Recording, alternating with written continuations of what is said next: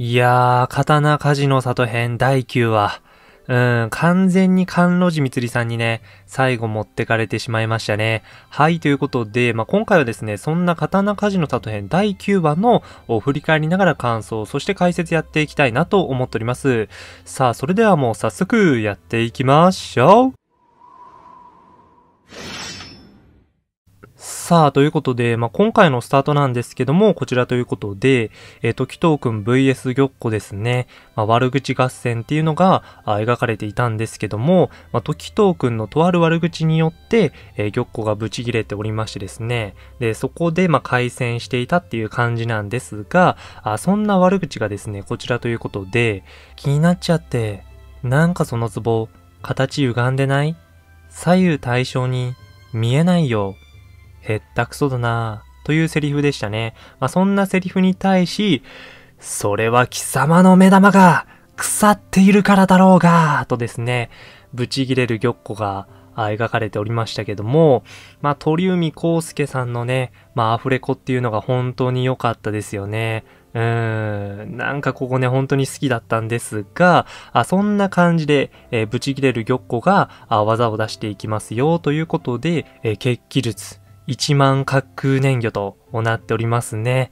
いやー、この技ね、アニメだと、まあ、なかなか CG がすごくて、本当にこう、魚がですね、まあ、大量だなっていうのをすごく感じて、まあ、まさに1万匹の魚がいるような感じをね、本当に感じ取れまして、なんか原作よりも、本当にアニメの方が、うん、その気持ち悪さっていうのが本当に感じ取れて、いいシーンでしたね。はい。一万匹の四角がお前を食い尽くす。ということで、まあ、そんなですね、えー、魚を避ける無一郎くんなんですが、あ、霞の呼吸6の型付きの歌唱ということで、いやー、これもですね、アニメでなかなか良かったですね。本当に原作通りというか、もうまんま、うん、そのまんま描かれていたんで、まあ私は本当に好きでしたね、今回ね。はーい。で、続いてですね、そんな感じで魚のね、え体液っていうのが、まあ、毒となっているため、えさらに霞の呼吸を放っていきますよ、ということで、え霞の呼吸3の方、赤酸のしぶきっていうのも、まあ、描かれていましたね。はーい。何？回転で全て弾き飛ばされた、ということで、うーん、まあ、なかなかですね、かっこよかったですね。はい。いやー、まあ本当に今回原作通りというか、もうまんまだったんで、すごい良かったですね。はい。で、そんな感じで、えっ、と、紀藤くんが玉子の首を切りにかかるとですね、え脱皮する玉子ということで、いやー、厄介ですね。で、展開が早くて本当に良かったんですが、あ脱皮する玉子の、そんな姿がこちらということで、お前には私の真の姿を見せてやる。この姿を見せるのはお前で三人目ということで、この完全なる美しい姿にひれ伏すがいいというね、えー、玉子の真の姿が描かれておりました。いやー、ちょっとですね、気持ちが悪かったですね。なんかアニメの方が、よりね、その気持ち悪さっていうのが、なんか明確になっていて、あんまり変わってるような気もしないし、なんか人魚になってんのみたいな、うーん、玉子なのみたいな、魚だよね。なんか方向性としてどこを向いてるんだろうなっていうのをめちゃめちゃ感じましたね。こいつは人魚になりたいんかみたいな感じで、すごくね、なんか気持ち悪くて、まあそんな時と無一郎くんの反応っていうのも、まあなかなか良かったですよね。はい。うん、すごくこのギャグパートがね、良かったですね。はい。まあそんな感じで、えー、仕掛けてくる玉子なんですけども、まあ神の手ですよね。はい。で、今回ですね、この真の姿で、えー、触れたものをすべて魚にしてしまうということで、えー、時藤くんの服もですね、なんと魚になっておりましたけども、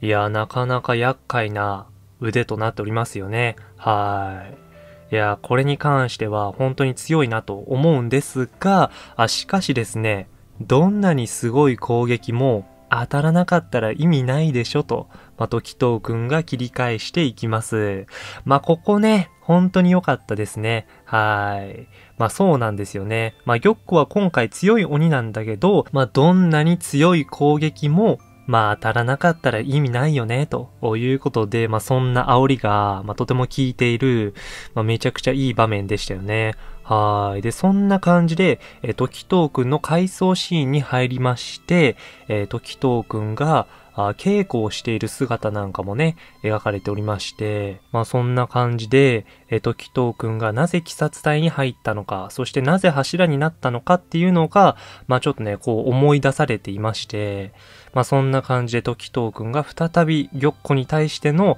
まあ熱い憎悪っていうのを、まあ思い出して、まあ戦っていく場面っていうのも、まあ描かれておりまして、まあなかなかここは良かったですよね。はい。で、そして、え玉子の血気術、人殺、魚鱗ということでね、まあ、なかなかですね、まあ、ここは原作よりも、よりなんかね、スムーズな動きというか、まあ、ぬるぬるなね、玉子の動きっていうのが、まあ、見えて、まあ、ちょっと気持ち悪かったですね。はい。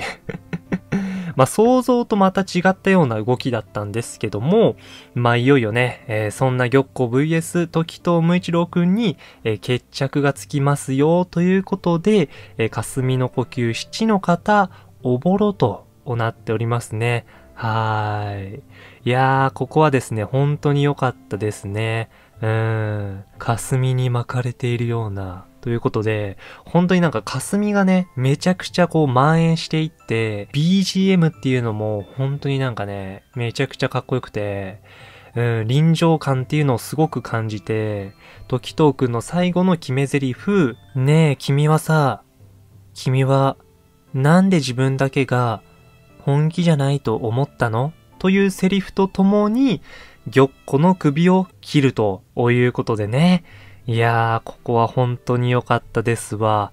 うーん。なんか本当に UFO テーブルさんの演出が本当に今回良かったなと思っておりまして、うん、まあ、霞の呼吸七の方おぼろで、それを特に感じましたね。はい。で、そしてですね、玉子が首を切られ、えー、そんな感じでわめいているとですね、えー、それに対し、えー、時藤くんがあ顔を刻んでですね、はい。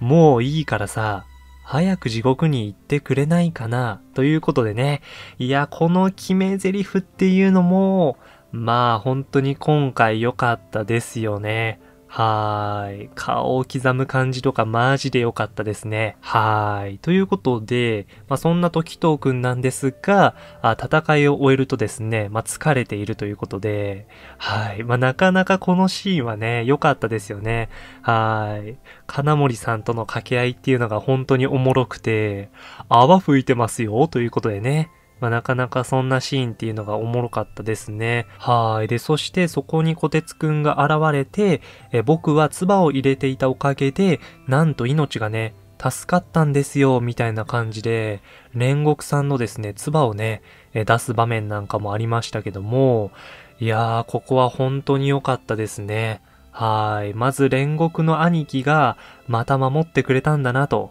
いうことと、まあ、時藤無一郎くんが煉獄さんを思い出して、はい、記憶を取り戻すみたいな場面が本当にこう流れとして最高の、うん、場面でしたね。はい。で、そんな感じで、え、時藤くんが、あ煉獄さんを思い出して、え、さらに、え、家族に囲まれて、なあ、無一郎、お前はよく頑張ったなと、まあ、いうシーンが、まあ、今回本当に最高でしたよね。何よりもここのシーンっていうのが、まあ、僕は今回好きでしたね。はい。で、そんな感じで、え場面は変わりまして、え反天狗 VS ね、炭治郎たちということで、まあ、ここなかなか厄介な展開っていうのが続いていましたよね。え増白点が本当に強くて、まあ、原作よりもよりアクロバティックな戦闘シーンっていうのが、